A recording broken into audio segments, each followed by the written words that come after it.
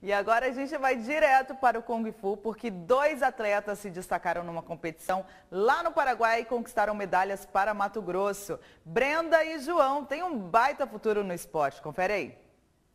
O sexto campeonato sul-americano de Wushu aconteceu no Paraguai e os matogrossenses Brenda e João Henrique representaram muito bem o país.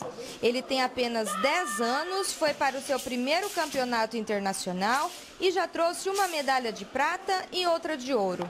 Ela já é veterana. Este foi o quinto torneio internacional que participou e, para não perder o costume, conquistou duas medalhas de ouro. João venceu na categoria infantil Facão do Sul e ficou em segundo lugar na Mãos Livres do Sul. A Brenda foi campeã na categoria juvenil de espada e de lança. Apesar dos bons resultados, eles têm uma pedra no caminho em comum. Todo campeonato que eu vou, eu sempre fico nervoso. Hein? Qualquer, qualquer lugar que eu me exponho muito, eu sempre fico nervoso. Eu acho que a minha maior dificuldade sempre foi aguentar o meu nervosismo. Então, isso foi, eu acho que que eu tentei mais focar, assim. E eu, eu fiz o que eu treinei, eu fiz o meu melhor, eu dei o meu melhor. Eu tentei fazer o melhor para representar o país. No Campeonato Brasileiro do ano passado, foram 16 atletas matogrossenses e nosso estado ficou em segundo lugar no ranking geral de campeões. Este ano, a federação quer levar pelo menos 20 competidores e melhorar essa colocação.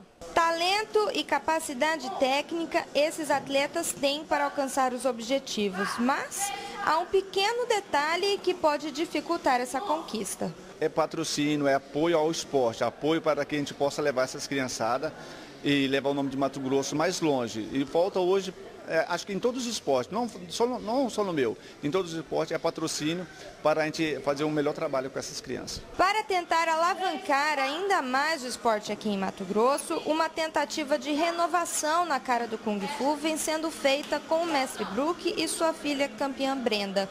Há um tempo, ela vem assumindo a liderança no tatame e dá aulas às crianças mais novinhas com o intuito de incentivar e fazer campeões cada vez mais jovens. Eu falo assim que a gente começou, lançou assim, projeto KID, né?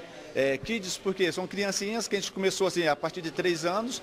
Hoje o João mesmo participou do Sul-Americano, ele tinha quatro anos quando ele começou comigo.